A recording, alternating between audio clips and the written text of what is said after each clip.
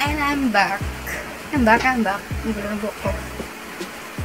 So, ano sasabihin natin? Welcome to my vlog. Again. Welcome to my vlog. Welcome to my Shargao vlog. Shaka. Uh, A few moments later. Yan, mag-vlog tayo ngayon. Bahay vlog. Kasi taong bahay na lang. Ayun o, pumuputi na ako. Pumuputi na ako. Pumuputi na ako. Talagang bahay lang. Bahay. So, yan. Today's vlog, mag, aano lang ako ng mga questions about Siargao. Cause, I told you so. Hindi, dami kasi nagtatanong. So, yun. So, yun. Let's go!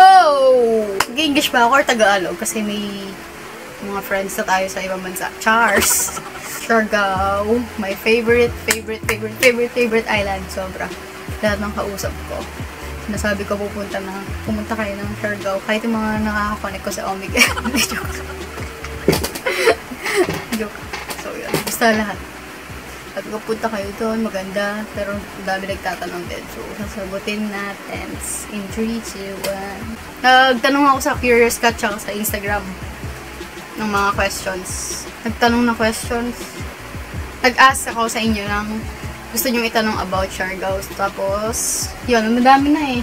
Parang sa Curious Cat, nasa, nasa 10 na ngayon or 11. Let's see. Ayan, paulit-ulit yung tanong, di ba? Nasa 11 na ngayon sa Curious Cat. Tapos sa Instagram, isa, ya, isa kanina. Tapos, yung mga previous, sasagutin ko din, yung mga na-scene mode. Mga na-scene ko kanina. So, yun. Sa phone ko na lang check para di ano yung background. Ay, ang init talaga dito sa Pinas. Buti pa. Sa Siargao malamig. Legit malamig. May one time nagbabike ako doon nakabikini nung first punta ko. Sobrang lamig tapos umulan pa. So yun, sobrang lamig. Magtatanong tayo. Ay, magtatanong. Ano ba yan? Ako yung pala yung tatanong ninyo. Init. Lordy. So, ganito yung ano, hair tutorial ko. Kung paano tinatali yung buhok. One, ganyan. Without tali. Diba?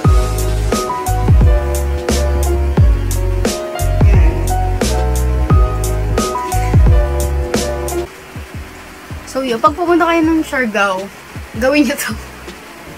Magagawa nyo to every time pag uwi nyo. Right. Shaka, pag magpupus. Still, so yun. Then, buksan na natin yung Curious Cat ko. Yan. Focus, focus.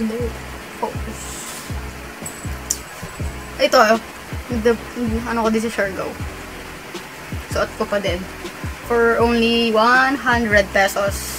Sa paa din ang dami ko pa. Hindi ko pa inaalis kahit nasa Manila na ako. Natatakpan naman eh. Kasi I miss Siargao sobra. Sobrang ganda doon. So ito na yung mga tanong natin guys. Puro anon eh. Anon eh. Anon eh.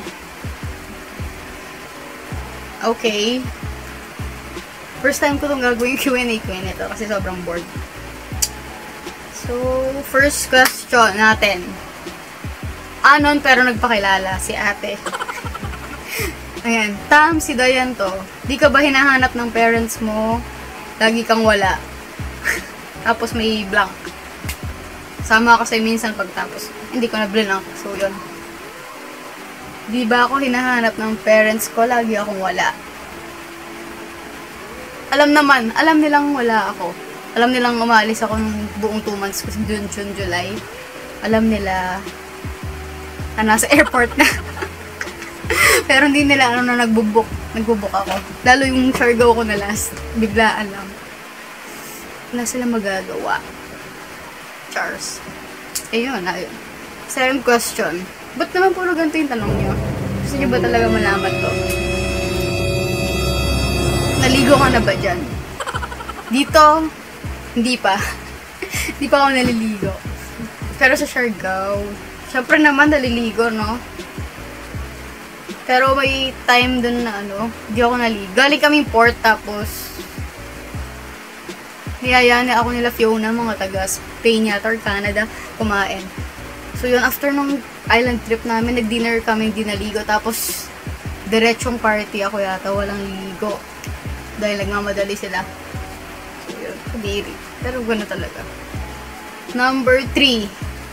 Si Layton to, kinapi-paste niya yung kanta ng Boot Up. Hindi ko kakantahin to. Question number 4. Pati na naman focus. Question number 4 is, may ATM ba sa Siargao? Meron. Meron, meron, meron. Magkakatabi yun actually sa may pagpunta nyo ng General Luna. Yun yung pinaka-main eh.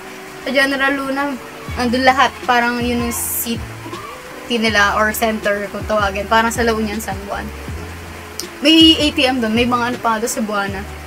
May Cebuana doon. Pero yung ATM nila, hindi mga BDO something. Ano lang. Hindi ko alam ano, ano, ano hindi ako nag-withdraw doon. Basta meron. May mga padalahan. Magkakatabi sila. Malapit sa simbahan. Number 4. What is your favorite island in the Philippines and why?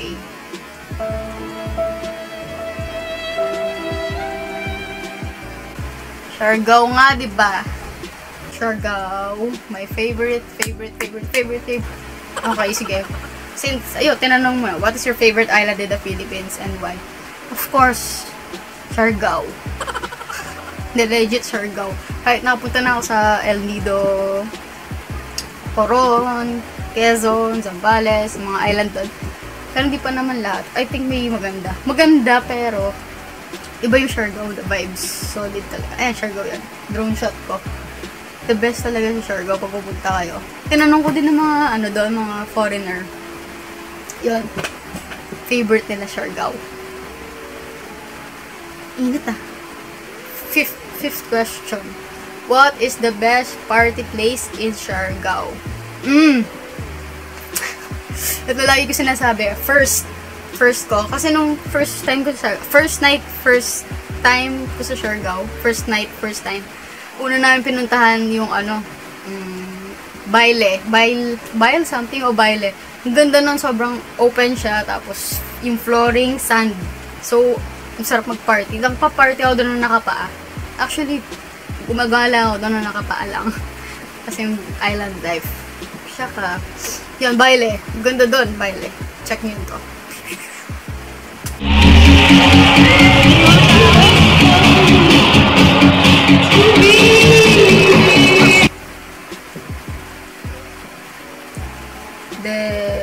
Second best ko is, ano siguro, um, kung alam niyo yung Rambar, sikat. Pero, med- medyo malayo. Pag lasing, delikado na pag lasing.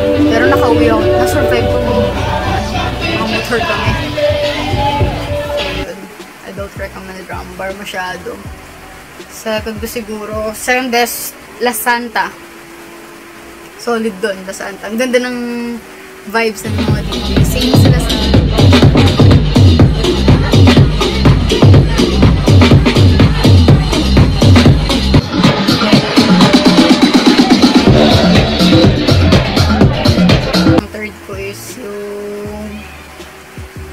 Kiss.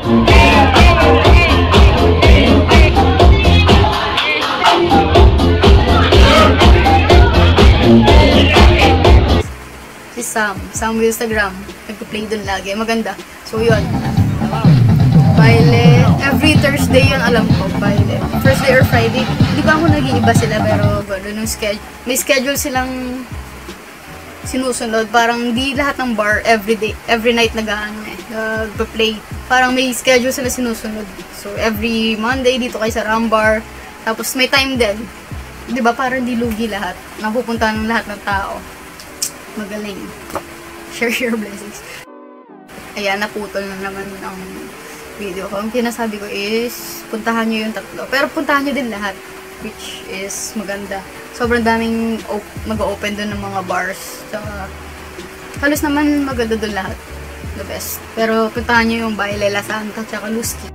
And take two na naman po. Na memory full tong 16 gig ko dahil sa Thailand namin. Di pa tapos ma. Di ko pa din tinatransfer sa kanila. So yun, where we at? Sa bars, sa bars ba tayo? Bars. O yung West, what is the best party place in Siargao? So, yun. Yun nga, sabi ko na ba, or ulitin ko na naman. La Santa, Baile, Luz Kiss. The best. Sam Instagram. Next is, what's the best about Siargao? Ano ba to? Pang, pang, ano? Miss Philippines ba nung tanongan nyo, guys?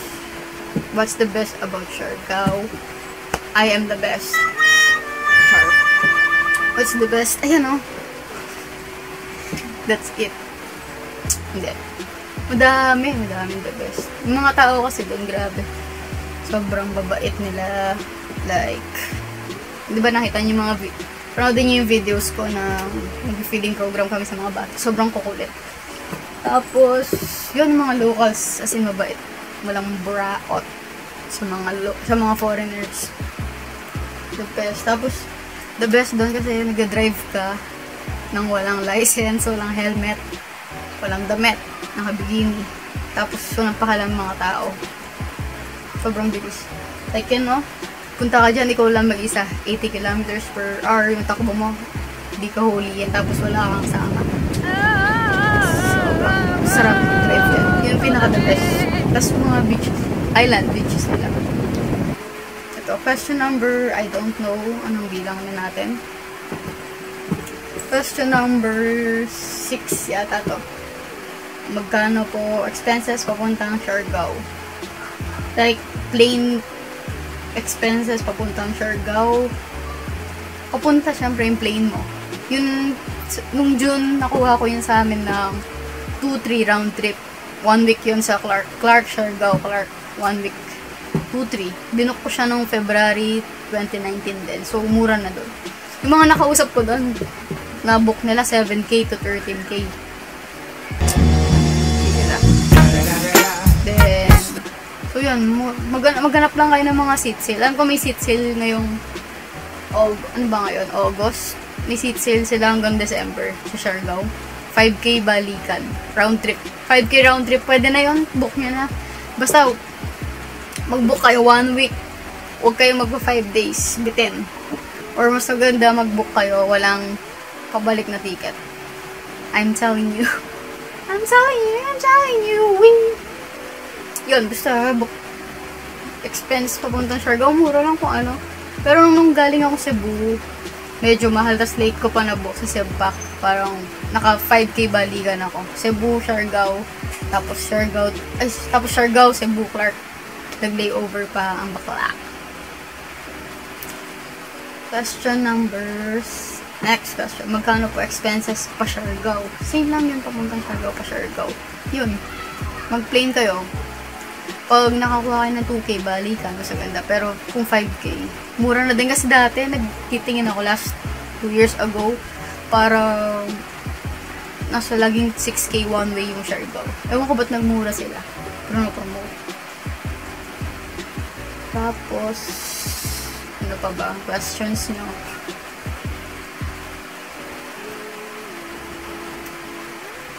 Punta tayo sa Instagram. Alam ko isa pa lang ko, hindi nagtatanong dito. Kala may tanong kaya. Ito. Question ni Morenong Gala. ano sabi niya? May rentals ba na... Ah! Wait lang, may ginagawa. Pinapababa na naman ako. May rentals ba ng scoots or scramble? Ang scoots or scramble bikes? Scooter or... Oh, madami. Madami rental ng ano doon, scooter sa Siargao. Like, everywhere. Lalo na sa... Pag... Mag, ano kayo, mag rent kayo sa, ano na, General Luna. Kasi po, from airport,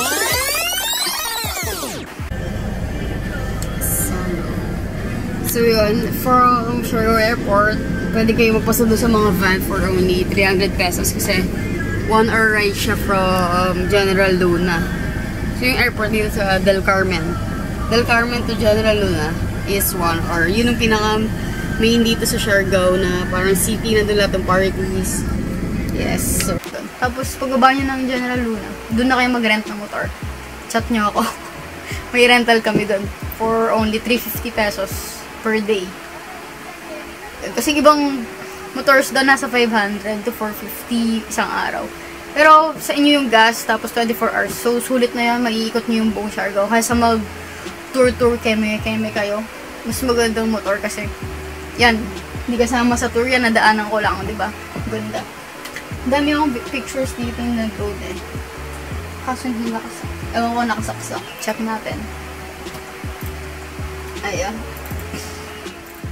Ah, may na-play. Uh, 2019, Siargao. June. Ay, wala. I-ano ko na lang. Flash ko na lang siguro dito sa screen yung mga pictures ko sa Siargao. So yun, rental sa motor, meron. Basta General Luna. Keep safe. Kasi muntik na kami mabangga doon. Ubus na yung questions ngayon. So ano, curious cat. Yung mga dati naman, sa Facebook na sinin ko, sasagutin ko na kayo.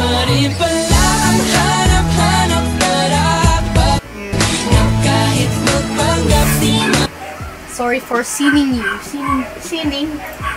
Nakasave yun dito eh. Ayan. Kita ba?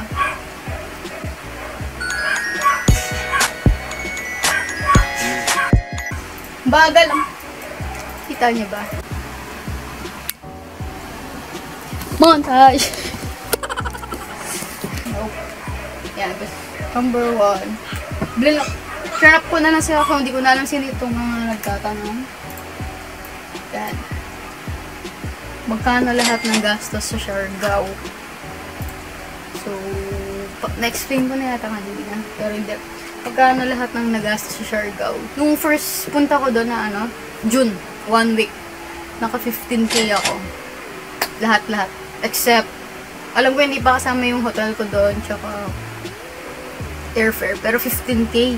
Kasi tinur parang inikot, na, inikot ko na lahat, tapos kinainan ko na lahat. Pag, every punta ko kasi lagi kinakainan lahat, tapos pinupuntahan. So, yun. Pero nung pagbalik ko, hulaan niyo magkano. hulaan niyo magkano na lang yung magkano na lang yung naggastos ko pagbalik. One week din ako doon ah. One week. Pero bakit money to? 4K lang. Kasi di ba puro pinapunta ako doon, puro libre lang, ganun, ganun. Libre yung motor, ginawa nila akong driver, pero okay lang, libre. Halos libre lahat. Yung din, mga dinner, nag lang sila yung mga namit ko. Papakita natin dito sa videos.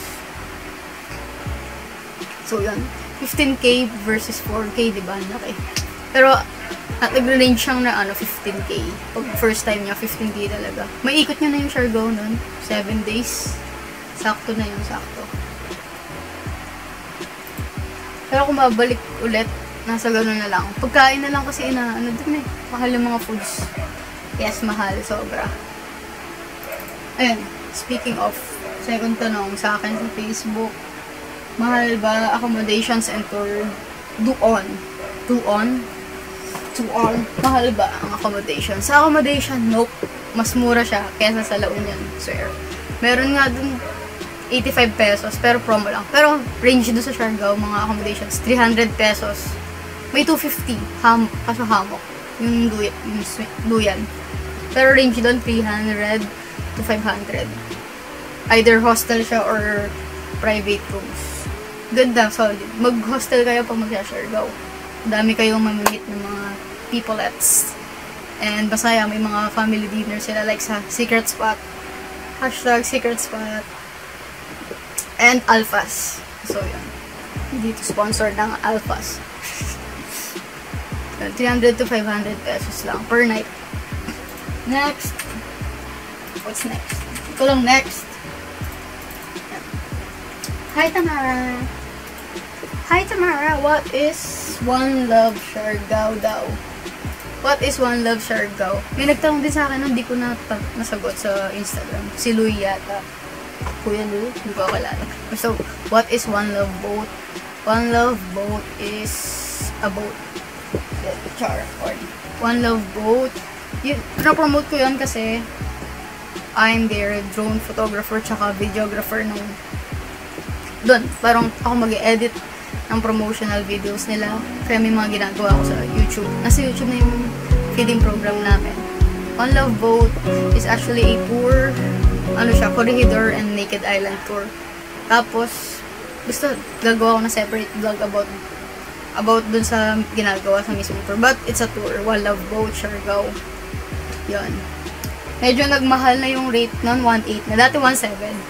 Nagmahal daw yung mga bangka ngayon doon sa Siargao. So, yes.